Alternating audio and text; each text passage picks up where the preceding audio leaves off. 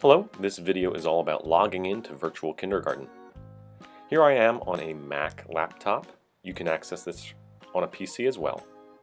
We recommend that you use Google Chrome.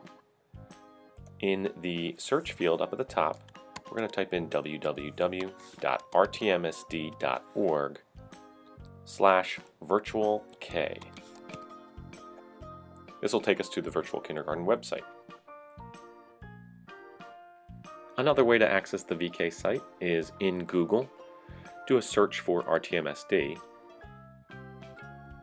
Click on Rose Tree Media School District. And then at the district site here, we're going to go down and on the right side find Site Shortcuts and click Virtual Kindergarten.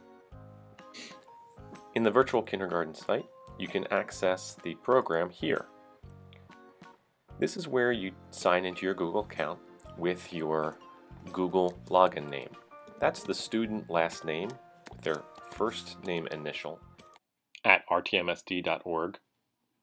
And their password is capital R, lowercase tm, dash, and their ID number, the five digit number.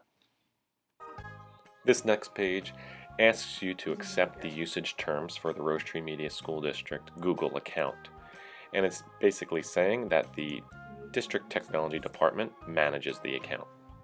You may be asked to pick your role if you are a student or teacher.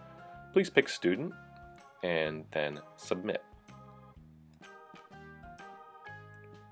This takes us to the Google Classroom page and where it says RTM Virtual Kindergarten, click Join. We highly recommend that at this time you bookmark this page. So if you're in Chrome, you're going to go over to the star here, click, and you can name the bookmark whatever you'd like. We named it Classroom.